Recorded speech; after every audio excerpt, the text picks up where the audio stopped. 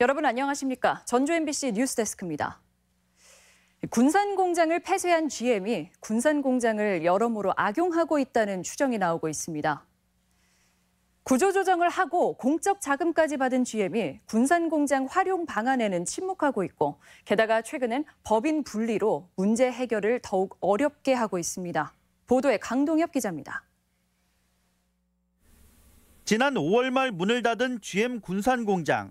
직원들은 쫓겨나다시피 공장을 떠났고 일부는 부평 창원 공장으로 배치되면서 군산 공장은 폐쇄됐습니다. 하지만 석 달여 뒤인 지난달 돌연 군산 공장은 가동이 재개됐습니다. AS 부품 생산을 이유로 GM 측이 공장을 부분 가동하고 있는 겁니다. GM이 생산 인원을 대거 구조 조정하고 공적 자금을 받아내기 위해 군산 공장을 폐쇄한 뒤 정작 자신들이 필요할 때는 다시 활용하고 있다는 추정이 가능한 대목입니다. 한국 GM이 원하는 구조 조정의 희생양으로 군산 공장을 활용했다라는 의혹이 있고 이 때문에 국회에서는 다음 주 카오카잼 한국 GM 사장을 불러 군산 공장 부분 가동 의도를 따지고 향후 군산 공장을 어떻게 처리할지도 추궁할 예정입니다.